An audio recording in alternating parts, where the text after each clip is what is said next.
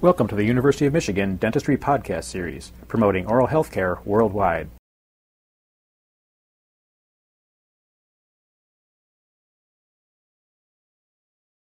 is a pontics that which you all are going to cast sometime during this semester.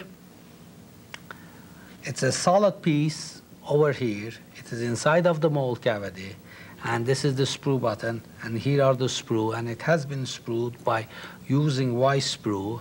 And the hope is this that this entire pontics to freeze before these sprue button sprue button and sprue freezes, or in other words, it will feed and compensate for the shrinkage which is taking place during the change of state. Now, this has not been done properly in this case, and the end result is that you see such a poor surface, one gets a very, very poor surface. It is all gone in here just because that the feeding did not take place properly. Well, naturally, one may say that the reason this happened because this distance in the sprue, in other words, that I use too long of a sprue. If I use a somewhat shorter sprue, I will accomplish that. Or I may have to use some uh, vent. A vent are another sprues that you can attach in here, another piece of wax that you can attach it in here and take it to the outside and let it carry some of these hot gases out and cause or help to freeze this pontics a little bit sooner. For example, here is one with a vent.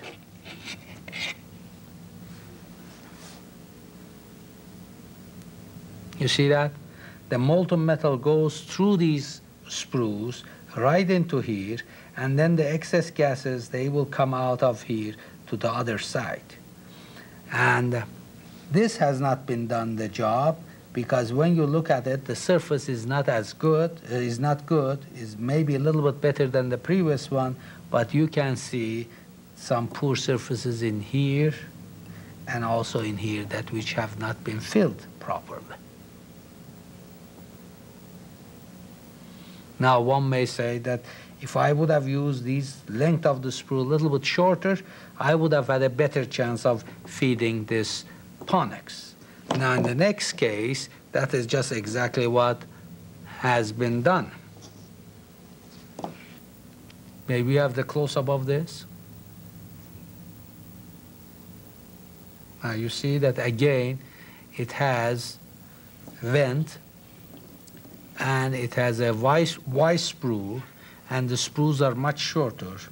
But once again, you may notice that right around here there's a very poor surface but overall is much better than the previous ones. And one may say that I don't care how poor is my sprue, all I care is the pontics itself. If one looks at it in that, uh, from that point of view, maybe this is acceptable, but there is no reason for any part of the casting to come out as poorly as this one has. The main reason for this is that the much smaller size of the sprue is used. This part is freezing before the pontics has a chance of uh, to freeze, and therefore pontics is actually feeding the sprue rather than the sprue button through this sprue to feed the pontics. In the next case, we have taken one single sprue, but much larger size, without any vent, and then one may see right over here that we again we have a poor surface.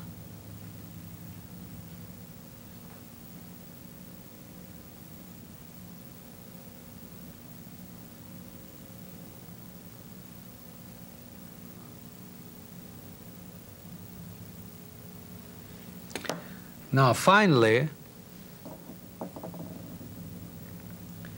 we have gotten uh, acceptable castings by using the vent and by using the large sprue.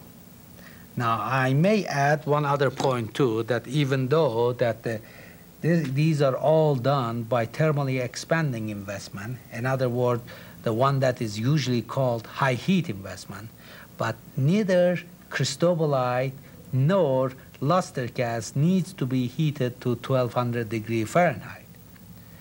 they all can be cast at 900 degree Fahrenheit without any damage. As a matter of fact, the surface will come out much, much better if you cast these things at 900 instead of uh, at 1200. You can compare the surface of these two just from the surface of the areas that have been cast, and then you can see that how rougher this one is compared to these. This is the 900 and cristobalite investment. This is 1200 cristobalite investment. Here is another cristobalite 1200 investment. Here is another one. And here is finally, here is the fifth one. You can see very easily that none of them have the kind of a surface that this one offers. So be sure that even though that they, we may call them high heat technique, that does not mean that the temperature of the ring should be higher than 900. The old investments, you had to do it that way. But the, with the new investments, such as luster cast, such as cristobalite, you, the investment reaches to its maximum thermal expansion values when it reaches the 900 anyway. So whether you heat it any higher than that or not, you are not going to get much changes in its thermal expansion. Some other type of investment, like gray of Ransom & Randolph, and there are others also in the market that they need to be raised to 1200 degree Fahrenheit in order to obtain full thermal expansion of the investment, but not with luster cast and cristobalite. And I want to emphasize them, those points so that you would never heat these investments to any degree, any temperature higher than 900 degree if you want to get a good casting. Now here are some other castings. They are made in in MOD type of pattern. Here is again heated at 1200 degree Fahrenheit. It is kind of a hard to see, but you might be able to notice that there is a slight opening on this casting. It's not bad, but there is a slight rocking. In other words, it has expanded a little bit too much. Now here is another one that by using a somewhat larger sprue, now the amount of expansion is even more. This rocks quite a bit, and these are all done with the luster cast heated at 1200 degree Fahrenheit. One may say that, well, we, are, we know better than that. We should never sprue MOD with single sprues. The Y sprue is the ideal type of a sprue. But when you use Y sprue also with this type of an investment, again, the investment expands too much and causes the rocking of this casting. Here is again the same type of an investment, cristobalite, but this time it's heated only to 900, and again it is just as shaky as the others. And here's another one.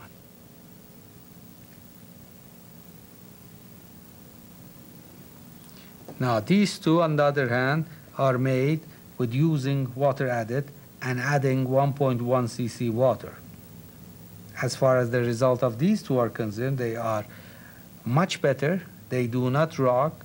They have not expanded any excessively. They have expanded the right amount, and the fit is good. Either this one, which is a Y sprue, or this one, which is a single sprue. See, it doesn't rock. I'm trying it, but it doesn't rock. Doesn't rock. The the whole thing moves rather than casting or the tooth. So in, in other words, that these are the reasons that we are trying to show you both techniques. Whenever you are doing inlays, you will get much better castings if you use water-added hygroscopic technique. On the other hand, when you are making a full crowns, you might be better off when you use high heat technique because the full crowns, when they are slightly larger, they may be even better. They may go over the die somewhat easier than if they would have been a little bit smaller. Here are some full crown castings, for example. Once again, these are the high, uh, high heat technique, or in other words, that really 1200 degree has been used in these, and you can see that the surfaces are not very good.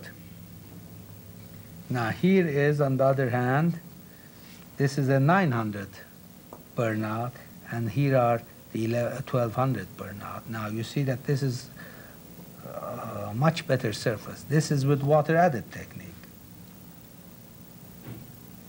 Once again, the surface is similar to this one.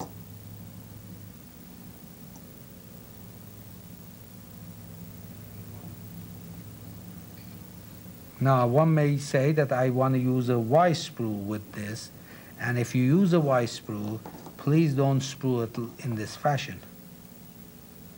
This is way overdone. The separation of these two parts are much too much, and therefore the feeding is not quite proper. And furthermore, this is again used at 1200 degree, and you can compare the difference between this one and that one.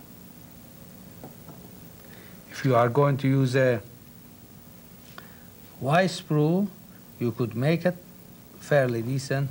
And here is another casting that which fits good, but once again, the oven temperature has been 1100 degree. The surface is not very good.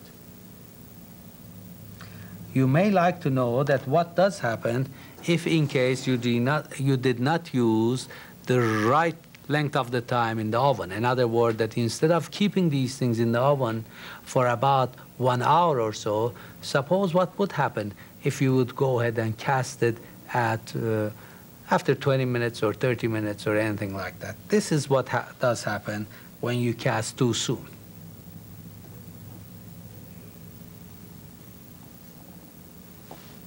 Maybe have the close-up.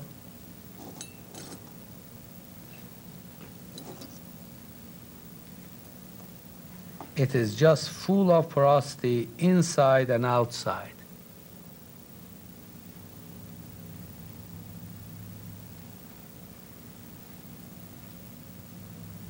You notice that. These are all due to the fact that the air could not get in.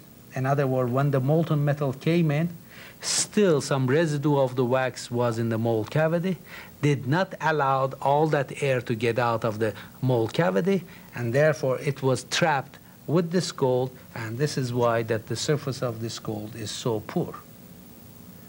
This type of porosity may also occur when the metal is heated too high of a temperature, but not to this extent. The, in both cases, what one is doing it is creating too much gases and is not enough chance for those gases to get out of the mold cavity before the metal freezes. And therefore, it, all of them, they get trapped in the metal. So in conclusion, I like to add it up that just to obtain a good castings, one has to obtain a good wax pattern, but that's not enough. He has to sprue it using the right sprue size, right location of the sprueing, and even right direction. And he should take, care, uh, take special care in melting the alloy, not to over, overheat the alloy, and not to cast it when the metal is not completely molten. Listening to a presentation from the University of Michigan School of Dentistry, which is dedicated to supporting open learning and open educational resources. This recording is licensed under the Creative Commons. It may be reused and redistributed for nonprofit use. Please attribute materials to the University of Michigan School of Dentistry and redistribute under this same license. For more information on how this and other University of Michigan School of Dentistry recordings may be used, visit www.dent.umich.edu/license.